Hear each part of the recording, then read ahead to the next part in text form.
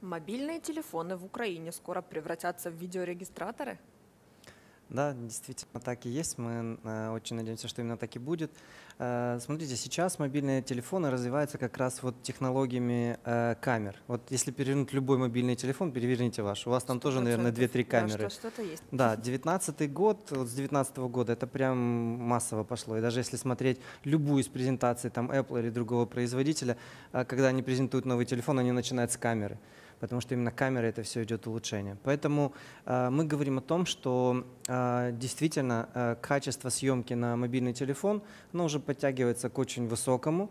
Э, есть уже и там широкоугольные, и такие, и такие камеры. И, соответственно, э, мы говорим о том, что э, новые технологии позволяют настолько сделать удобным и мобильным нашу жизнь, что они заполняют различные аспекты нашего, нашего существования. Соответственно, мы подумали, почему бы и не использовать мобильный телефон в качестве видеорегистратора. На самом деле эта идея пришла еще в 2016 году, вот, но тогда мы думали о именно видеорегистраторах коробочных.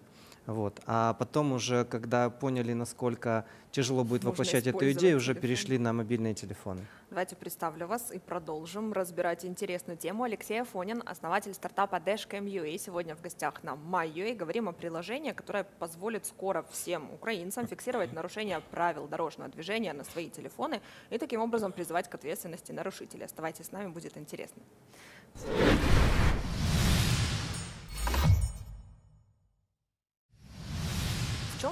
Разница э, между съемкой на телефон и съемкой на регистратор? А, основная разница это то, что мобильное приложение в телефоне дает защищенность данных. Угу. Это первое. Второе – это удобство пользования. Ну вот смотрите, сейчас в мобильном телефоне у вас уже все. Вы даже, наверное, новости и телевидение смотрите уже не столько там по телеку, сколько по, по мобильному телефону. То есть мы уже настолько привязались к мобильным телефонам, и они настолько удобны, что возвращаться в ту прошлую жизнь уже даже не хочется. Соответственно, э, защищенность э, именно э, идет в том, что снимая видео, мобильный телефон может прописывать геолокацию, время, дату, это все сохраняется в файле. И это все идет как единым файлом. И когда он приходит, например, э, на сервер э, и обрабатывается, то мы говорим о том, что э, уже все основные метки, включая и номер автомобиля нарушителя, и тип нарушения, уже забиты в самом файле.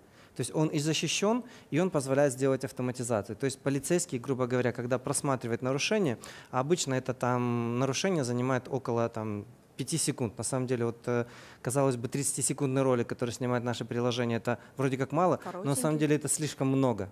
На самом деле 90 где-то процентов э, тех видео, которые к нам приходят, это 5 последних секунд.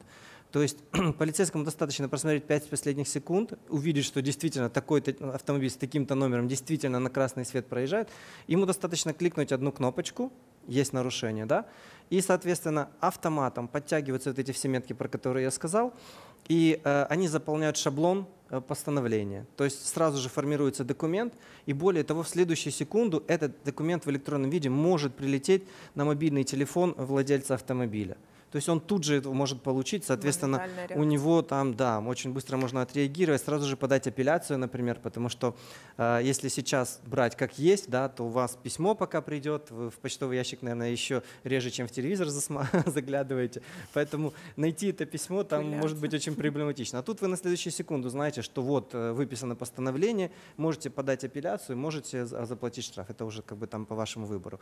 И еще очень важно это то, что я сказал про удобство. Смотрите, видео, э, которое пишется в нашем мобильном приложении, пишется 30-секундными роликами циклично. Это значит, что каждый последующий ролик стирает предыдущий. Не занимает память. И не забивает память.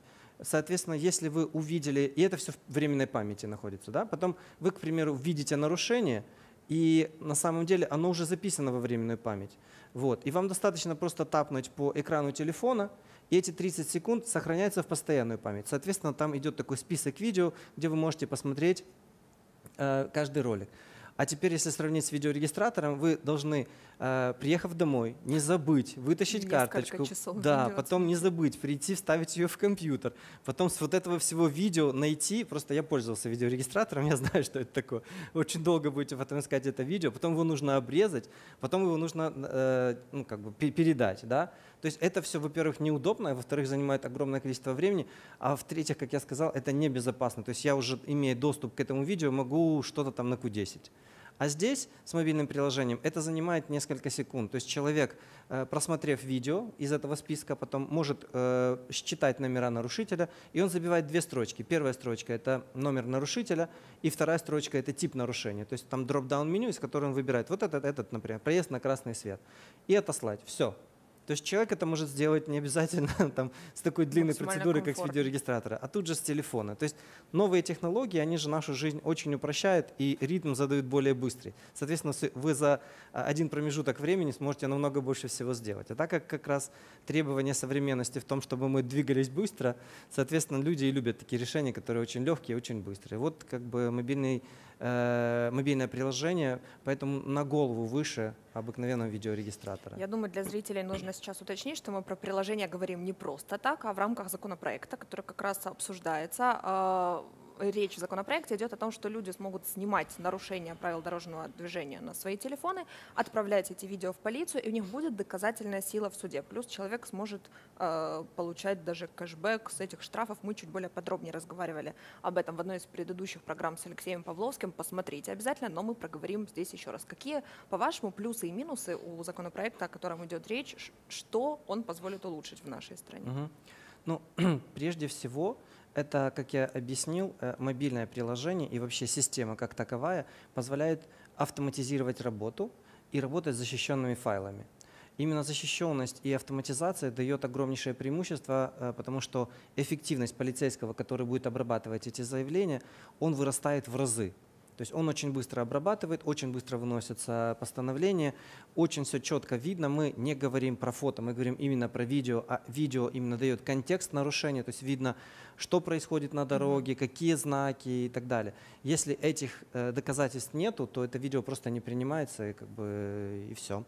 Вот. Соответственно, законопроект даст возможность, что такие видео Э, будут приравнены, с мобильного приложения, будет приравнены к автоматической фото-видеофиксации. И тогда, опять-таки, полицейский очень быстро их может обрабатывать, так как это защищенный источник информации, то, э, соответственно, быстро выносятся постановления. И второе важное, э, что законопроект сделает, это он заложит основы под введение э, вознаграждения за э, отосланное видео. То есть человек, который подал видео, э, по нему выписан штраф и оплачен, он может получить 10% с оплаченного штрафа. И прежде всего это не столько про мотивацию, сколько про гарантирование того, что штраф действительно был уплачен – что эти деньги э, пришли не, из ниоткуда. То есть э, вы же понимаете, что очень легко человеку прислать нотификацию «Вам спасибо, нарушителя а наказали». А на самом деле удалили как бы, э, это нарушение. А когда пришли уже деньги, ты уже прекрасно понимаешь, что действительно человек наказан. Ну и третий такой самый э, такой менее важный аспект, но который тоже достаточно интересный, это то, что э, водитель, который нарушает, э, его как бы дополнительная жаба давит, что на нем еще кто-то заработает, да. если он сделает это Меньше нарушение. Да, поэтому мы так на, на уровне психологии э, как раз и говорим о том, что э, люди будут стараться хотя бы ради этого стараться меньше нарушать, потому что на этом еще кто-то еще может заработать, а это неправильно. Так, а если сразу несколько человек зафиксировали одно и то же нарушение, кому кэшбэк, кто первый? Да, на, наше видение такое, что э, первые два человека разделяют между собой э, кэшбэк. А, почему именно так? Потому что а, проводились э, э, исследования, я не зря про психологию говорю, здесь очень много психологии в этом проекте, и э, проводились исследования, когда на улице, где большое количество людей, кому-то становилось плохо, люди, которые потоком идут, не реагировали на это, потому что думали, что это уже кто-то отреагировал, уже кто-то вызвал скорую. А когда меньше людей, то они, соответственно, быстрее реагировали. В нашем случае, если мы будем выплачивать только первому человеку, который э, подал э, такое видео, то э, у водителей будет складываться впечатление, что вот я сразу же не отправил, то, наверное, кто-то уже отправил, соответственно, даже и отправлять не будут. А если все-таки между двумя, ну, у него уже есть шанс, что он будет хотя бы вторым И ответственность да. повышается. Да, да, образом. да. Соответственно, мы э, достигнем большего эффекта. Ну, тут опять-таки все на психологии завязано. Я вижу, что вы принесли целую пачку каких-то документов. Что это за документы? Насколько я понимаю, приложение уже работает, несмотря на то, что закон пока еще Да. не, не допринят, Да. скажем так. А, да, сейчас э, мы работаем следующим образом. Э, как я сказал, мы начали еще в 2016 году, и мы зарегистрировали громадскую организацию Dashcam.ua. И вот как раз, э, если вы помните 16 год, тогда у нас еще 3G даже не было. То есть э, речи о том, Это что отправляться будет видео. Да, но на самом деле это незаметно очень много поменялось с точки зрения э, психологии и технологий. Э, Во-первых, как я сказал, камеры на телефонах стали совершенно другими. Во-вторых, пользователи стали пользоваться телефонами, э, доверяя им больше и больше. То есть у нас уже у всех есть на мобильном телефоне приложение какого-нибудь мобильного банка, э, еще там какие-то вещи. То есть человек в мобильном телефоне уже э, становится более продвинутым пользователем и понимает, что телефону можно доверять, и через него очень много всего можно сделать. Вот. И, соответственно, мы говорим о том, что как раз вот в 2019 году мы увидели вот эти изменения, уже 4G у нас, уже можно что-то делать, и, соответственно, мы сделали сначала прототип, в 2020 году мы запустили MVP. И когда э, мы его запускали, мы надеялись, что будет ну, хотя бы там тысяча скачиваний, чтобы мы могли хотя бы протестировать, как оно на разных телефонах Так. будет работать. А у нас за первый месяц получилось 15 тысяч скачиваний, то есть э, условно наша радость была, смотрите какой, у государства э, 48 камер, сколько там они запустили, а у нас за месяц 15 15 тысяч. тысяч. То есть вы понимаете, что это приложение, которое вот так вот буквально там условно на следующий же день покрывает всю территорию страны, без исключения все дороги, 24 на 7, еще и контролирует большое количество нарушений, а не как э, наши камеры, только скорость, к примеру. Да? Ну там- Соответственно, интерес у людей уже, как оказывается, есть. Ждем только закона. да, да, да, да. Вот. И, соответственно, мы начали тогда, собирая эти данные, ну, чтобы люди даже не впустую же все делали, правильно? Мы начали делать следующее. Э, С нашими юристами мы проработали такую схему, что э, пользователи подают э, заявы, за- заявления с видео, точнее пересылают видео с указанием номера нарушителя и типа нарушений. А мы в своей системе автоматически, точно так же, как я вам рассказывал, как полицейский может шаблон заполнять постановы, мы точно так же автоматически одним кликом заполняем э, заявление, которое в по электронке летит сразу же в э, полицию, причем от лица громадской организации Dashcam.ua. То есть наши пользователи, они э, анонимны, то есть мы не раскрываем их. Соответственно, за вот это время, пока мы работаем, у нас уже накопилось очень большое количество э, писем от полиции. Они там есть двух видов. А, вот большая, самая Надеюсь, это не большая пачка, от нас. большая пачка – это отписки. Мы не можем ничего сделать, мы Зря ничего не знаем. понадеялась. Вот. А есть управление полиции, которые могут что-то сделать. Э, То есть э, сейчас схема какая? Полицейский должен установить, кто является владельцем данного автомобиля, написать ему письмо, отправить это письмо человеку, который владеет, владеет автомобилем, потом он должен явиться в, э, в управление, ознакомиться с доказательствами, подписать протокол э, или постановление, вот, и, соответственно, тогда уже имеем результат. То есть это очень-очень длинная цепочка. процедура. Да, но э, как бы это реалии нашего законодательства, это реалии нашего сегодняшнего дня. Поэтому э, даже несмотря на это, у нас есть целая огро- ну там э, вот э, я принес некоторые там примеры того, как э, многие регионы откликаются и полиция там действительно работает, например, там ну, Хмельницкая область, Одесская область, прям прям молодцы, там очень много всего Не ленятся делается. эти все цепочки проходить. Здорово. Да, да, то есть есть, э, есть управление полиции, которое э, не тратит э, время, скажем так, и, и бюджетные средства для того, чтобы просто писать отпи- отписки. Они действительно выполняют свои там э, обязанности, и у нас вот реально очень много таких э, примеров э, постанов, когда нарушители действительно привлекаются к ответственности. Но законодательство это написано таким образом, что полицейский может аргументированно рассказать, почему он не должен этого делать, ну, либо аргументированно э, показать результат работы. а Надеюсь, законодательство скоро как это раз и изменится. изменит это все, потому что самой полиции легче с этим будет работать. Но я вам описал вот эту длинную цепочку. Полицейский, когда приходит к нему заявление, он, э, понятно, что у него отторжение этого всего, и слава богу, что у нас есть полицейские управления, которые действительно выполняют свою работу. Можно Вот. ли будет как-то автоматически распознавать аварии на видео? Да, это, кстати, новая функция, которую мы вот как раз сейчас тестируем, и скоро мы запустим. То есть получилось так, что на базе вот этой вот основной идеи того, что можно снимать нарушения, потом накрутилось еще очень много интересных дополнительных, Мгм. очень важных э, функционалов. К примеру, автоматическое выявление аварий. Оно работает следующим образом. Вот в каждом телефоне, опять-таки новые технологии, у нас в каждом телефоне есть акселерометр, у нас есть гироскоп. Вот вы поднимаете телефон, экран Мгм. загорается. То есть это не просто так. Это не, не, не та магия, это все технологии. Соответственно, мы говорим о том, что э, мы используем акселерометр телефона как триггер. То есть когда происходит какой-то удар, э, у нас э, срабатывает триггер, который запускает э, нейронную сеть, которую мы, мы тренировали на звук определения аварии. Боже, Если вы когда-нибудь слышали э, аварию или были участником аварии, вы знаете, что там есть определенный звук, и он действительно такой специфический. Даже если вы будете на улице и сзади произойдет авария, вы с большой вероятностью скажете, что это столкнулись машины, потому что там э, такой Ни с чем определенный хлопок. Соответственно, мы натренировали э, нейросеть, которая прямо на телефоне пользователя сможет разложить спектрограмму звука и определить, это действительно была авария или там просто человек резко остановился, если что-то произошло. Соответственно, э, качество определения э, очень высокое, потому что оно еще подтверждается видео. Вот. И, соответственно, теперь э, условно ситуация, если там в зимнее время со Львова, например, в 3 часа дня выезжает машина на Киев, то где-то уже там около 3-4 будет уже темно.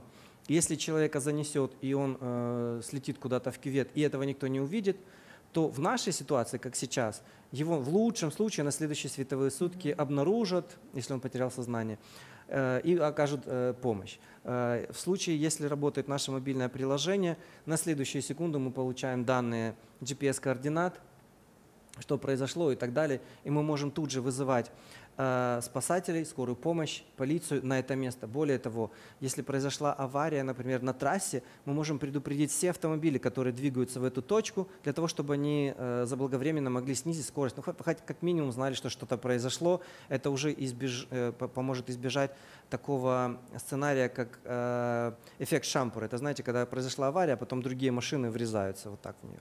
И еще один функционал дополнительный, это мы говорим о том, что пользователь может указать своих родственников или друзей, и в случае аварии им придет нотификация, что со мной, возможно, произошел несчастный случай, Э, вот GPS-координаты, вот линк на видео, если там человек хочет посмотреть Что, видео. Мы знаем, что ну, как бы скорая помощь это хорошо, но мы понимаем наши реалии.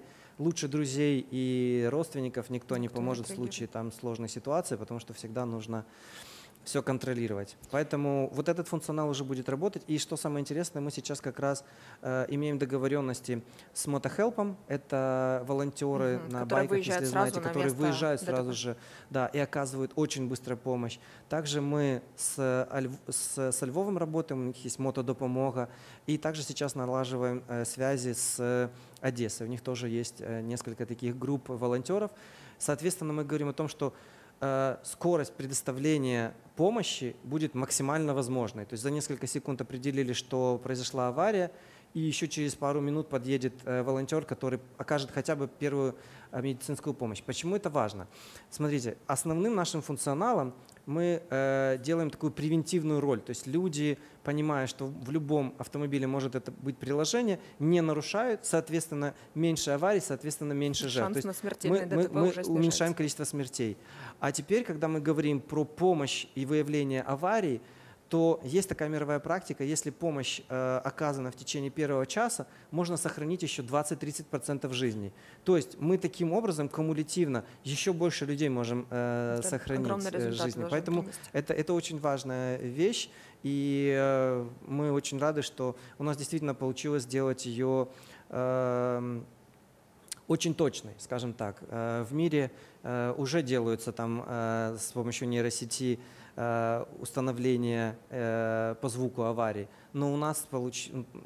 я очень надеюсь, что у нас на- намного будет качественнее. То есть результат у нас будет намного выше. Можем ли привести примеры других стран, где работают похожие или аналогичные системы либо автоматической фиксации, либо съемок на телефон людьми нарушений э, правил дорожного движения, которые привели к реальным результатам? Поделиться Мгм. условно, чего мы можем ожидать по цифрам, по показателям? А, Вот смотрите, четкого аналога нету. А, Есть э, волонтерское первые. движение. Да, Украина будет первая, которая вот на Здорово. таком уровне это все сделает, и эффект, э, который получит Украина, мы ожидаем, что он будет э, беспрецедентный. Потому что то, что есть в других странах, немножко отличается. То есть в Израиле есть э, волонтерское мобильное приложение, которое тоже позволяет снимать, но работает немножко не так, и полиция не может это все автоматизировать. То есть мы же, в свою очередь, сделали и мобильное приложение, и систему бэкэнда, то есть э, админ, админ панели, mm-hmm. там, где это все очень быстро обрабатывается. А, вот. Более того, еще из того, что тоже в мире нигде нету, собирая вот эту информацию, то есть у нас сейчас там 30 тысяч э, инсталлов, ну, представьте себе, потенциальных 30 тысяч камер на, на дорогах, которые каждый день собирают информацию. И сейчас вот в базе своей аналитики мы сделали такой уникальный инструмент, которого тоже нету в мире, это визуализация нарушений. То есть, смотрите, сейчас ситуация какая? Э, полиция начинает показывать точки на дорогах как опасные, только когда там врежутся э, машины и, и, и, и, и погибнут люди. А мы говорим о том, что вот есть концентрация нарушений, и когда там идут частые нарушения, мы же сами понимаем, что там скоро, там скоро будет, будет авария. авария. То есть мы еще за шаг до того, как столкнутся машины, как э, погибнут люди, можем показать, где есть точки опасные, на которые нужно обратить внимание. Соответственно, превентивно, еще до того, как что-то произошло, какое-то несчастье, мы можем изменить, например, алгоритм работы э, светофора, мы можем поменять знаки, изменить разметку, какие-то инфраструктурные решения сделать. Опять-таки, таких данных ну, просто нету, потому что те полицейские, которые в любой другой стране стоят на, где-то на перекрестке и там штрафуют кого-то, они же не собирают эти данные. Ну, как бы и полицейского не, при, не привяжешь к каждой машине. А здесь у нас получилось, это, скажем так, больше как сюрприз для нас самих, что действительно мы можем собирать такое большое количество данных по нарушениям, и, соответственно, показывать опасные участки на дорогах. И государство готово сотрудничать, получается. Да, и это все бесплатно для государства. Это данные, которые вот приходят, которые могут позволить, э, скажем так, Украине быть на технологически на, на, на передовых позициях. Реально такого пока что нет в мире. Спасибо вам за эту беседу. Это очень интересно. Я надеюсь, что все внедрят и будет э, еще более эффективно работать это приложение. Люди будут пользоваться и будет на наших дорогах наконец-то безопасно. Спасибо, что пришли к нам сегодня. Алексей Афонин, основатель стартапа Dashcam.ua, сегодня был в гостях на MyUA. Спасибо, что вы были с нами.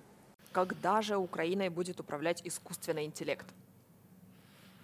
Э, дело в том, что он уже частично управляет а э, те системы, которые строятся, они все предусматривают, что в конечном итоге к ним будет подключен искусственный интеллект.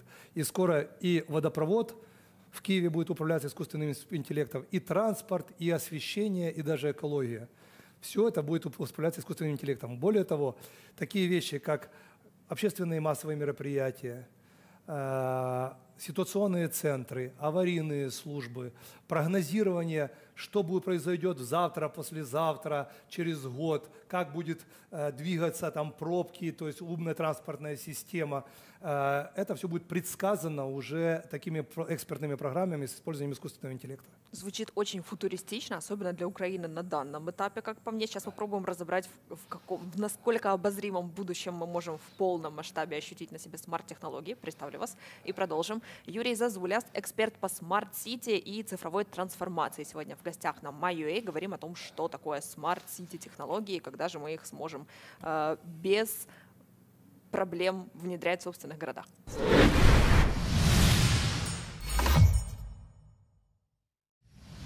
Итак, давайте расшифруем для начала, что такое вообще smart city, что входит в это понятие. Ну, smart city – это умный город. То есть те города, которые сами регулируют и управляют э, всеми подсистемами, которые есть в городе, например, транспорт, экология, медицина, э, здравоохранение, э, э, туризм, спорт и так далее. То есть все эти подсистемы, они управляются, скажем так, из единого центра и при помощи IT-технологий. Вот это и есть э, смарт-города. В более широком понимании смарт-город, он рассматривает еще архитектурные изменения. Ну, например, э, смарт-город, который предусматривает э, Google при строительстве в Торонто, он предусматривает еще и автомобили, которые сами на автопилотах доставляют, например, там, детей в школы или в садики. При этом э, они сами, э, как вы вызываете его как Uber, утром подъезжают под ваш дом, и они становятся общественным транспортом. Но мы понимаем, для того, чтобы двигался автоном, автономный э, смарт-мобиль без водителя, нам нужны специальные дороги, нам надо специальные подниматься. све- э, светофоры, надо специальная инфраструктура. И тогда мы сможем использовать э, беспилотные э, смарт-мобили. Но для этого надо полностью перестроить город. Но весь город перестраивать никто не будет, поэтому в узком понимании smart city это использование существующего города, существующей шири- шириной улиц, существующими светофорами, э, водопроводом, освещением. И только сверху мы накладываем новые технологии, которые просто видоизменяют для того, чтобы жителям города было удобнее пользоваться своим городом, чтобы сервисов было больше, чтобы мы не тратили много времени на разных там оформление бумаг, документов и так далее. И самое главное, чтобы это все было прозрачно. Вот то, что больше всего боятся чиновники, это прозрачности. Вот это и все позволяет делать smart city. Так, про чиновников чуть позже тоже вспомним. Давайте сначала оговорим, в каких городах уже существуют smart city технологии. В Украине, в Киеве начали внедрять, в Полтаве, насколько я знаю, где еще? А, Но почти во всех городах-миллионниках существует smart city. Это Днепр, э, Днепр, это Львов, это Одесса, это Николаев, а, это Херсон. Но а, целиком smart city в том понимании, когда мы говорим, что все сервисы запущены, нету Пока нигде. нигде. Даже в Киеве. Все делается фрагментарно.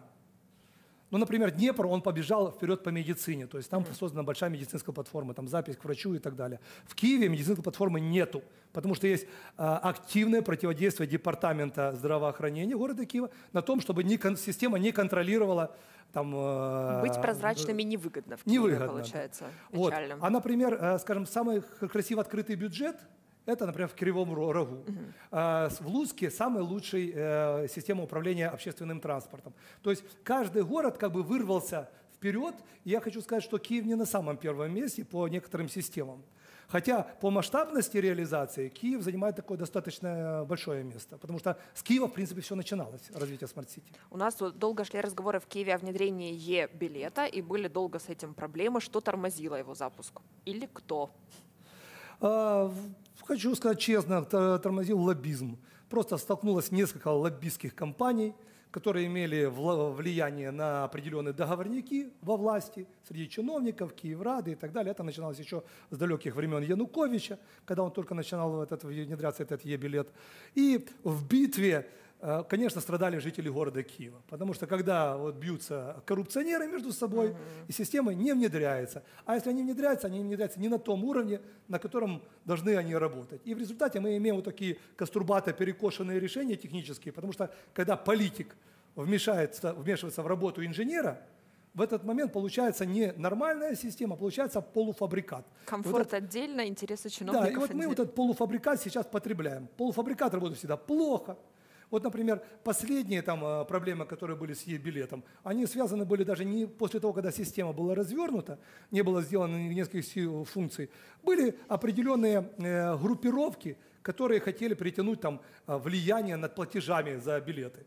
И они столкнулись между собой, и в результате мы имеем того, что у нас несколько раз падала система и так далее. Просто война лоббистов приводит к тому, что система не внедряется. А сама по системе, она идеальная, хорошая, полезная и намного упрощает и работу с общественным транспортом, и удобство доставляет жителям. Пока до нее не добрались чиновники, все выглядело идеально, получается так. Как можно не дать чиновникам мешать внедрять э, эту систему? Или нет такой власти у людей, у киевлян, у технарей, например? Э, Вы знаете, мы начинали эту систему в 2004 году, как раз после победы э, революции, когда Виталий Владимирович пришел к власти. В 14 или 4? 14 а я сказал. кого? Четвертом. А, извините. Все это произошло, в, начиная с 2014 года, когда после э, революции достоинства к власти э, пришел наш мэр э, Виталий Владимирович. С этого момента начало развитие э, смарт-сити. Это было Тогда еще не было ни Дії, не было никакой вообще цифровизации пространства Украины. Это был город Киев. И там начина- была написана программа, и она существует до сих пор. Кстати, мы выполняем эту программу Так. с 2014 года. Но э, самое интересное, тогда у нас были такие радужные впечатления, что все инженера покажут хорошую техническую политику, будут эксперты обсуждать, и мы вот эти идеальные решения будем реализовать на городе Киеве. Все произошло абсолютно не так. То есть как только депутаты почувствовали вкус и уровень денег, которые там можно можно что-то распилить. там распилить, в этот момент у нас пошли просто удары. Начиная от того, что программа просто не принималась за то, что какой-то политической силе не дали долю. То есть они даже не понимали, что они хотят делать, но они говорят, что вот если вы нам не дадите долю от этих бюджетов, мы не будем голосовать. А я как инженер, то есть, а я бизнесмен и инженер, я в политике как бы так э, слабо ориентируюсь. И они приходят, я говорю, как же так? Так это же система не будет единой. Ее нельзя разрывать на куски.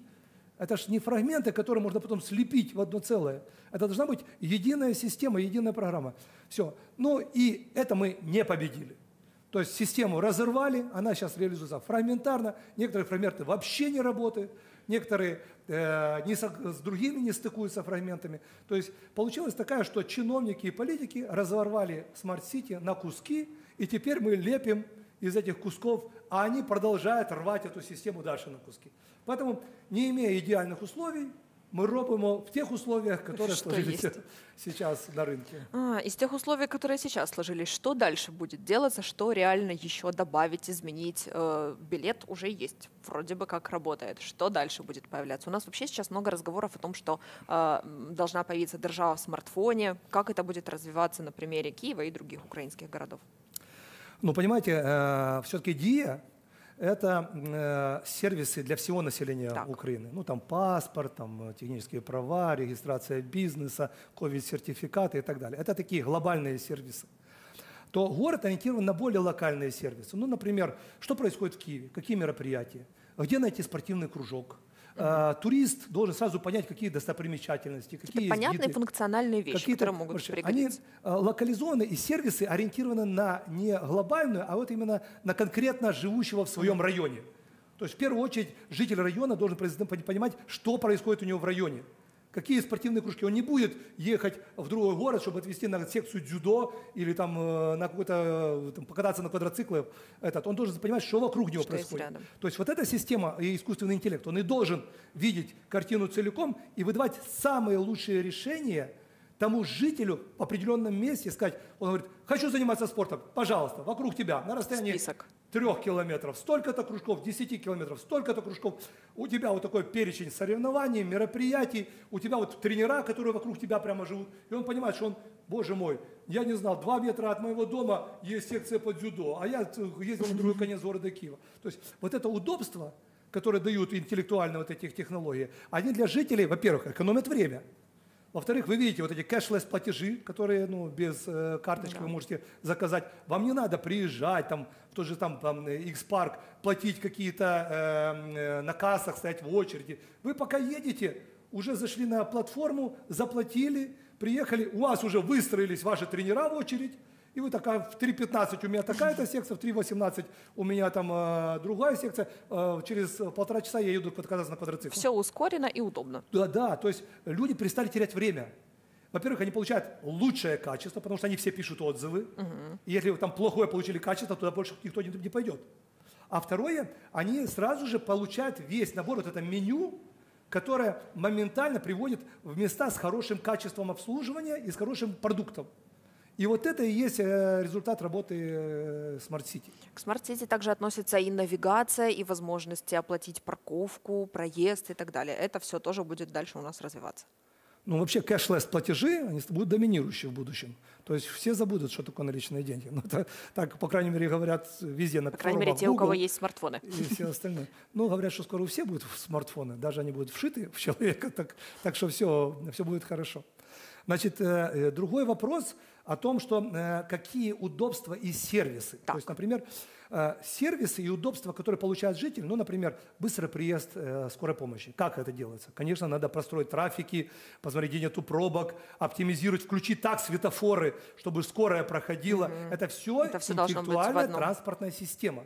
Она позволяет быстро разгрузить город от пробки. Искусственный интеллект смотрит, анализирует, где проблемные участки, быстро включает так светофоры, чтобы они рассосались, эти, и таким образом появляется скорость, вы, вы не стоите в пробках, экономите свое время, добираетесь с одной точки в другую.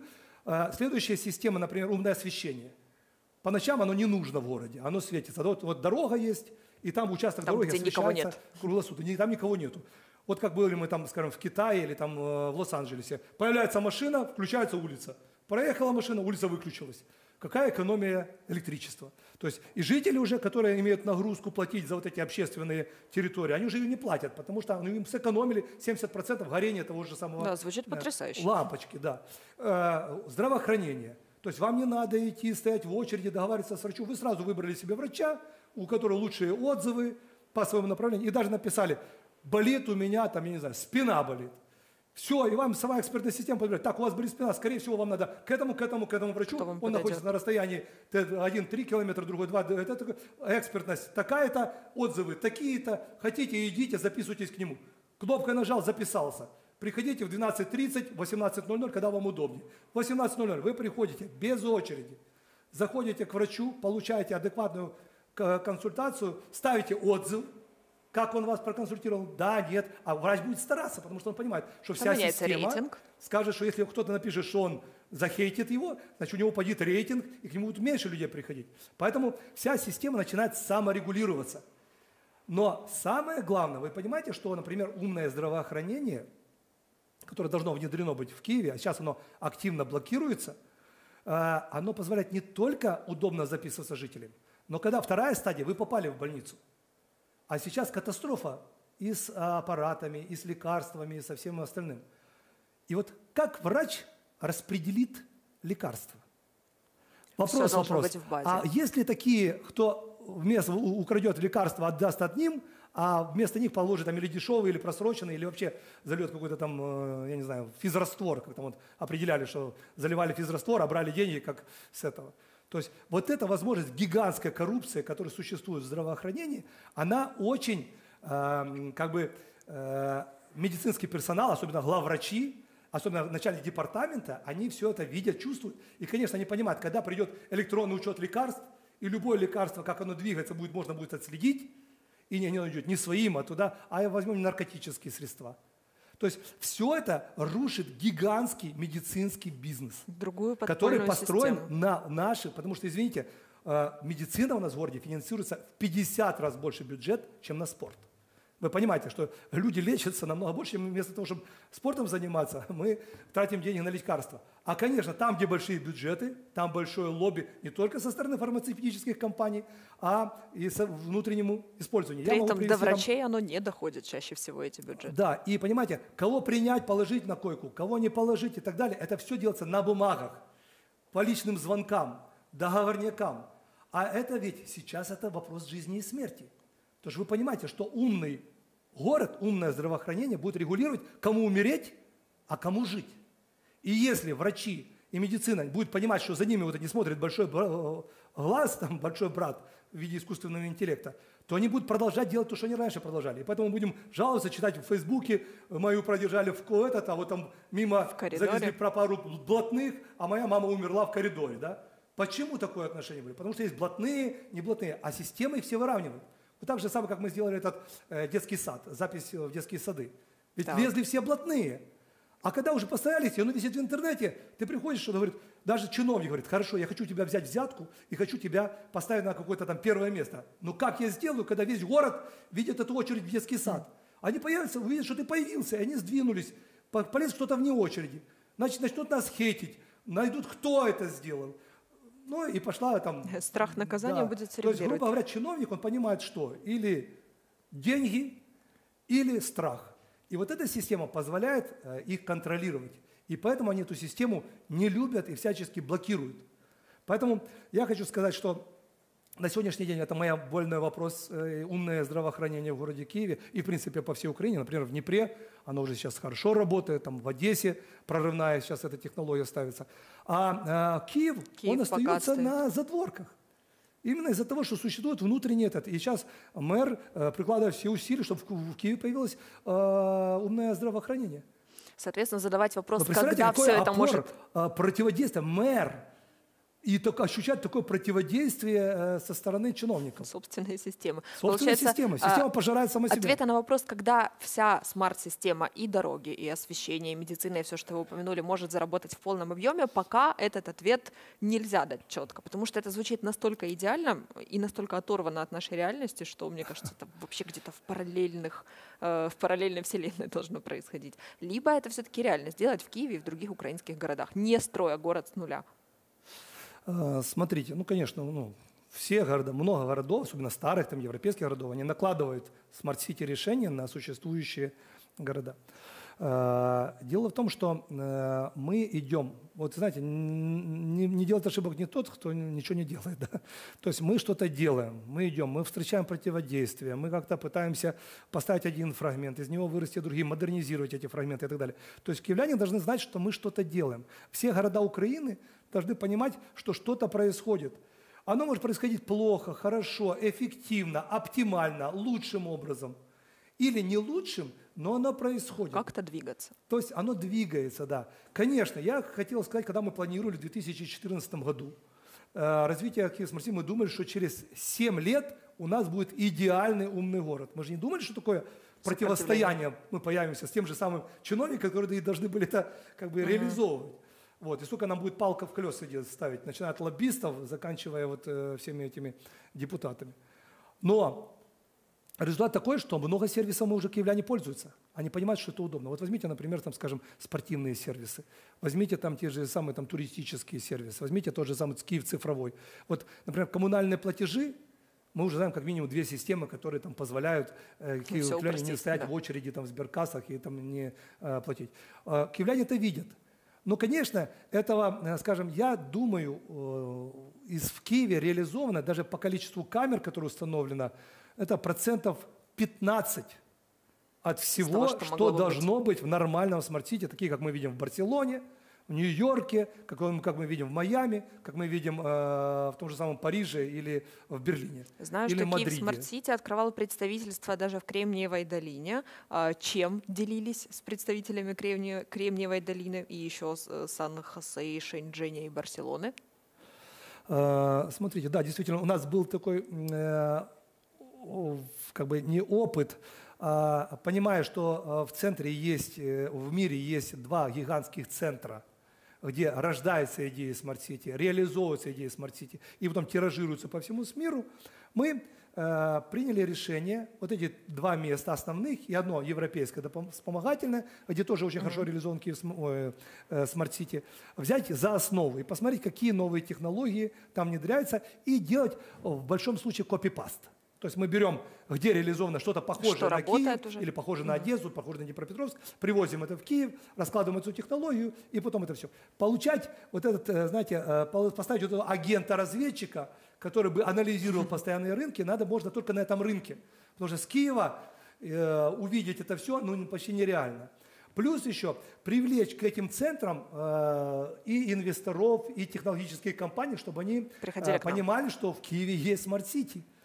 И Киев Smart City будет э, тиражировать их изделия у, на территории Украины, что им э, тоже интересно, как, например, получить новые кейсы в центре Европы. И у нас это три таких центра. Это большой центр Силиконовая долина э, Сан-Франциско, э, Шаньчжэнь, угу. Китай и Барселона – вот вокруг этих трех точек, в принципе, вся идеология и интеллект развития этих э, технологий, они и э, циркулируют. Кроме этого, есть такие там э, э организации, как ЕИНА, например, European. Emergency Association, да, Number Association. То есть она э, показывает, как должны работать аварийные службы. То есть вот мы смотрели статистику, из 100 человек в Швеции спасают 70, у нас одного. Ужасная есть, статистика у нас да, по да, сравнению есть, со Швецией. Поэтому, а почему? Потому что у них считается, что если э, на аварию приезжают через 15 минут, спасать уже некого. То есть все уже, человек, э, даже если его можно было положить там, в реанимобиль и так далее, и так далее. То есть, грубо говоря, у них 25-минутная, это считается, что уже сгорел весь торговый центр, и даже уже ее тушить можно и не тушить. Ну, то есть 25 минут у них граница. Поэтому первые диспетчерские должны приехать через полторы минуты. И а смарт, нас... смарт-технологии позволяют как раз это реализовать? Конечно, они позволяют и делать маршруты, и проходы для этих аварийных машин, например, если есть там пробки. А они позволяют отслеживать, чтобы не парковали там возле пожарных гидрантов, и если там камера увидела, что кто-то запарковал, моментально ему штраф, приезжает эвакуатор, его оттуда снимают. И когда начинается пожар, пожарные машины приезжают и начинают тушить пожар. Они раз, руками разносят эти машины для того, чтобы добраться до пожара. Человек лежит, э, ну, например, там авария какая-нибудь, человек лежит э, там зажатый э, в автомобиле. Сразу моментально видео, информация на центральный пульт э, спасения, там 112, говорит, надо вызвать кусачки, чтобы вырезать его из автомобиля. Теперь кто это? Это Сидоров. Сидоров, у него аллергия такая-то, такая-то, скорее всего, перел поломан позвоночник шеи и так далее. Мы его вызываем сразу реанимобиль. То есть человек еще стоит, э, спасатель возле, э, на месте происшествия, а уже вся система понимает, что ей делать. И уже его положили в реанимобиль, уже врач готовит операционную, где понимает, какие у него там аллергии, что ему надо колоть и так далее, приблизительно, что ему надо делать. Поэтому, конечно, короткий способ доставки, например, того же самого пострадавшего в центр приводит к тому, что его спасают. А у нас через полтора часа приехали и сказали, а, это тут уже ничего робить, можно мы уже ничего не робить. Конечно, сейчас а, немножко изменилась ситуация, потому что все-таки это анализ был, там, скажем, пятилетней давности, вот это когда мы так. брали 100 и Сейчас уже лучше. Скажешь, да, сейчас лучше немножко, но дело в том, что без полноценного системы 112, а у нас ее нету, без полноценной системы э, ситуационного центра города, это сердце и мозг города, эта система не работает. И каждый житель города, киевлянин, должен понимать, что и пока не будет нормального ситуационного центра, колл-центра, который Э, не будет там по полчаса поднимать трубку, и вы не сможете дозвониться никому, спасения не будет. Получается, спасение утопающих – это рук самих утопающих. То есть киевляне сами настраивают вокруг себя, как не попадать в эти ситуации, потому что понимают, когда они попадут в ситуацию, Никто не медицина поможет. им не поможет, спасатели им не помогут, поэтому, а если помогут, то это будет с большой задержкой. Вот, поэтому э, то же самое касается, там, скажем, блока страховых услуг. Страховые услуги у нас, например, э, почему они ориентируются, например, на то, что человека быстро спасут. Поэтому и страховые компании рассчитывают свои, э, скажем, э, платежи, исходя из того, что как работает система спасения. А когда они понимают, что система работает, спасения не работает никак, то они говорят, или вы нам столько платите, потому что у нас большие риски. И, ки- и киевляне, и, там, жители Украины не платят, потому что ну, это дорого. Поняла. Работа у нас еще не початый край, но она движется, не останавливается, значит, шансы на смарт-города в Украине все-таки есть. Спасибо вам за эту беседу. На этом будем сегодня завершать, но думаю, что еще не раз встретимся, будут у нас поводы поговорить. Юрий Зазуля был сегодня в гостях на MyUA. Спасибо, что вы были с нами.